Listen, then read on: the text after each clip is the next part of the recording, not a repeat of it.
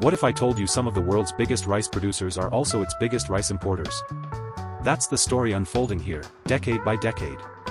You're looking at rice imports over time. It seems simple, but beneath it is population growth, climate stress, and food security. Because rice isn't just food. For billions, it's daily survival. In the 1960s, import leadership sits in Asia and the Middle East. Saudi Arabia stands out early. With no domestic production, imports aren't a choice, they're essential. Then Indonesia keeps reappearing. A major producer, yet still importing year after year. Population growth outpaces harvests, and climate shocks make self-sufficiency fragile. By the 70s and 80s, the Philippines joins the pattern.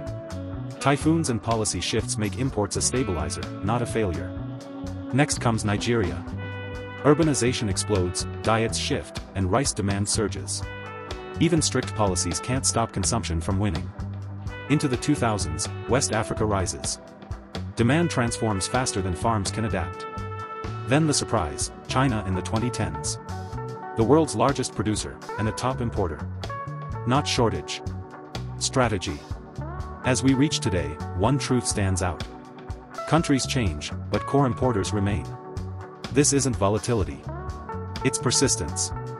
Rice imports aren't a temporary fix anymore. They're a permanent pillar of modern food systems. These bars don't just track trade, they reveal how deeply the world depends on it. And that dependence is only growing.